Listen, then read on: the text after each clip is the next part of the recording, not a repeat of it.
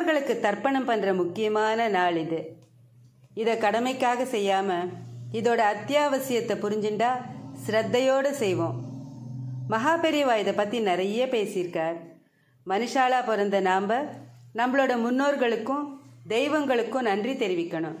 அமாவாசை அன்னைக்கு யாராவது ஒத்தருக்காவது நாம் அன்னம் படைக்கணும்.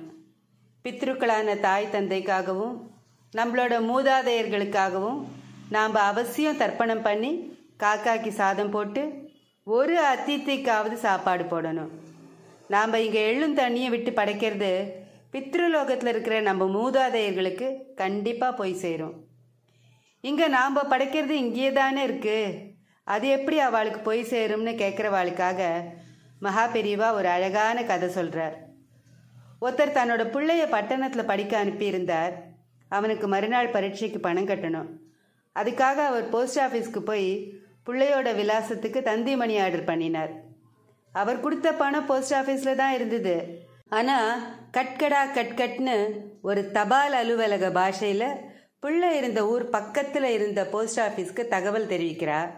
அதுக்கப்புறம் அந்த ஊர் தபால்காரர் அந்த பிள்ளைக்கிட்ட பணத்தை கொடுத்துட்டா.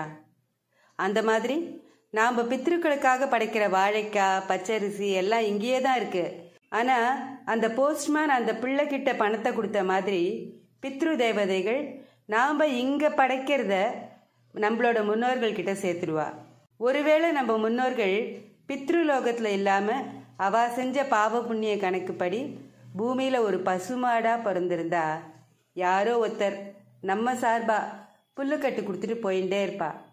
நாம் கொடுக்குற படையல் பித்ருக்களுக்கு தேவையான விதத்தில் மாற்றப்பட்டு அவளை போய் சேர்ந்துடும். அதனால் அவளோட பரிபூர்ண ஆசீர்வாதம் நமக்கு கிடைச்சி நம்ம சந்ததியே சௌக்கியமாக இருக்கும். அதனால் பித்ரு காரியங்களை எல்லாம் தவறாமல் செய்யணும்னு மகா பெரியவா சொல்கிறார் ஸ்ரீ மகா பெரியவா திருவடிகளே சரணம். ஹரஹர சங்கர ஜெய ஜெய சங்கர. காஞ்சி சங்கர காமகோட்டி சங்கர.